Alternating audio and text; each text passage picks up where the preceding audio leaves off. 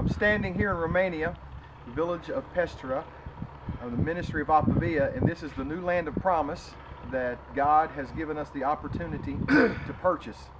Uh, the ministry here has been amazing, not just this trip, but throughout the years. God has blessed us, God has used us, and God continues to help us. This land of promise that we're standing on right now has the awesome potential to make the ministry more effective, but we need your help. Uh, we've made the down payment, we've raised some money, but we're still uh, several thousand dollars away. I think $8,000 to be exact. And you can help us. You can make that through a one-time gift. You can make that through a pledge.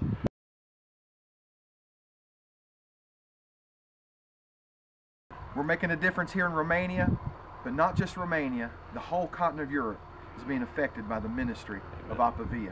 We need your help. Pray about that.